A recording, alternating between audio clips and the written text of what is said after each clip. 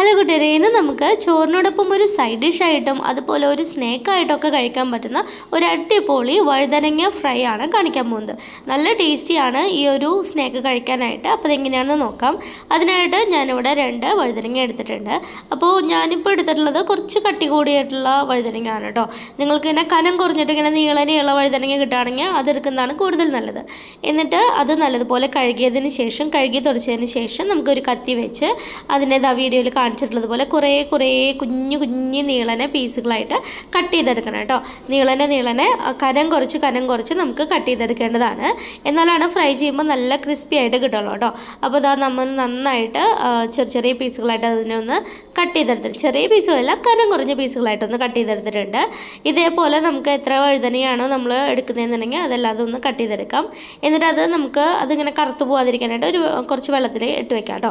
അതിനുശേഷം ഇതിന്റെ ആ ഒരു മസാല തയ്യാറാക്കുന്നതിനായിട്ട് ഒരു ബൗളിലേക്ക് ഒരു ടീസ്പൂൺ ഇഞ്ചി വെളുത്തുള്ളി പേസ്റ്റ് ഒരു മുട്ട പിന്നെ ഓരോരുത്തരുടെയും എരിവിനനുസരിച്ചിട്ട് മുളക് പൊടി പിന്നെ വേണ്ടത് കുറച്ച് മഞ്ഞൾപ്പൊടിയാണ്.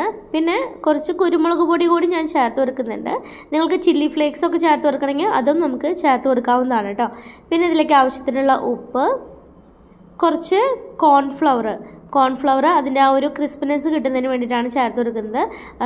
ഒരു ടീസ്പൂൺ അരിപ്പൊടി ചേർത്ത് കൊടുത്താൽ ഒന്നും കൂടി നല്ല ക്രിസ്പി ആയിട്ട് കിട്ടും.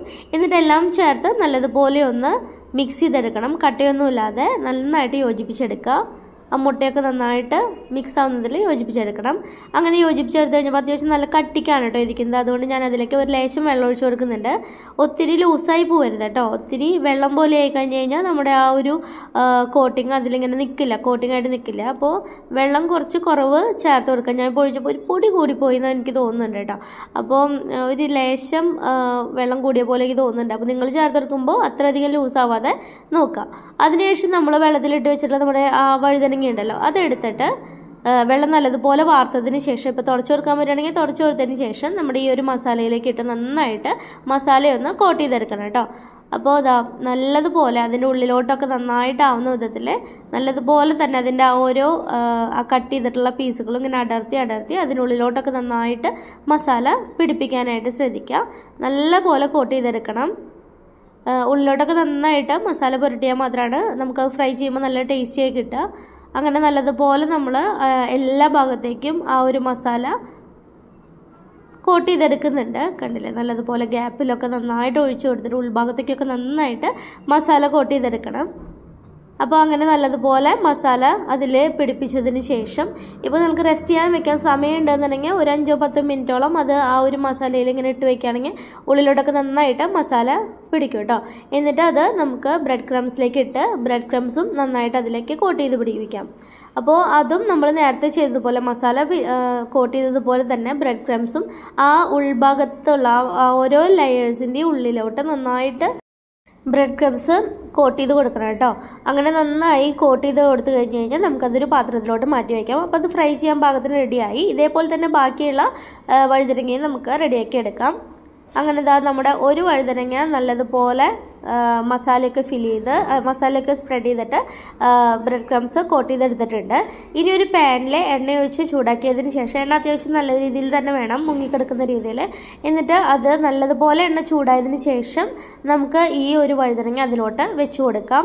മീഡിയം ഫ്ലെയിമിലിട്ടിട്ട് നമുക്കിത് നല്ലതുപോലെ ഒന്ന് ഫ്രൈ ചെയ്തെടുക്കണം. അപ്പോൾ അതങ്ങനെ ഇരിക്കട്ടെ കുറച്ച് സമയം കഴിയുമ്പോൾ അതിന്റെ ഒരു സൈഡ് നന്നായിട്ട് മുരിഞ്ഞു തോന്നി കഴിഞ്ഞാൽ അത് നമുക്ക് പതിയെ തിരിച്ചിട്ട് കൊടുക്കാം. അങ്ങനെ രണ്ട് സൈഡും നല്ലതുപോലെ നല്ല ക്രിസ്പി ആവുന്ന വരെ നമുക്കൊന്ന് ഫ്രൈ ചെയ്തെടുക്കേണ്ടതാണ് കേട്ടോ അപ്പോൾ ഞാൻ ആ ചൂടായ എണ്ണ പതിയെ അതിന്റെ മുകളിലേക്കൊക്കെ ഒന്ന് ഒഴിച്ചു കൊടുക്കുന്നുണ്ട്. അങ്ങനെ അടിഭാഗം ഒന്ന് ക്രിസ്പി ആയെന്ന് തോന്നിയതുകൊണ്ട് ഞാൻ അതിന്റെ ആ ഞെട്ട് പിടിച്ചിട്ടൊന്ന് തിരിച്ചിട്ട് കൊടുക്കുകയാണ്. അപ്പോൾ കണ്ടോ കാണാൻ നല്ല ഭംഗിയാണ്. അതിങ്ങനെ ആ ഒരു പീ അങ്ങനെ കട്ട് ചെയ്ത പീസുകളൊക്കെ ഇങ്ങനെ വിരിച്ച് ഇങ്ങനെ വെക്കുമ്പോൾ നല്ല ഭംഗിയാണ് കേട്ടോ കാണാനായിട്ടും. അപ്പോൾ ഇതാ നമ്മുടെ രണ്ട് സൈഡും ഏകദേശം ഒന്ന് മുരിഞ്ഞു തുടങ്ങിയിട്ടുണ്ട്. നന്നായിട്ട് മുരിഞ്ഞു വരട്ടെ. അപ്പോൾ ഇപ്പോൾ നമ്മുടെ വഴുതനങ്ങയുടെ എല്ലാ ആ ഒരു പീസുകളും അത്യാവശ്യം നല്ല രീതിയിൽ തന്നെ മുരിഞ്ഞു വന്നിട്ടുണ്ട് കേട്ടോ നല്ല പോലെ മുരിഞ്ഞു വരുമ്പോഴാണ് ആ ഒരു ടേസ്റ്റ് വരിക. അത് വിചാരിച്ച് ഒത്തിരി കരിഞ്ഞു പോരുത് കേട്ടോ നന്നായിട്ട് മുരിഞ്ഞു വന്നിട്ടുള്ള നമ്മൾ ഈ ഒരു വഴുതനങ്ങ. ഇനി നമുക്കൊരു ടിഷ്യൂ പേപ്പറിലോട്ട് മാറ്റാം. അതിൽ എക്സസ് ആയിട്ടുള്ള എണ്ണയൊക്കെ ഉണ്ടെന്നുണ്ടെങ്കിൽ അത് വലിച്ചെടുക്കാനാണ് നമ്മൾ ആ ഒരു ടിഷ്യൂ പേപ്പറിലേക്ക് വെച്ച് കൊടുക്കുന്നത്. അങ്ങനെ നമ്മുടെ ഫസ്റ്റ് വഴുതനങ്ങ ഇവിടെ ഫ്രൈ ആയി വന്നിട്ടുണ്ട്.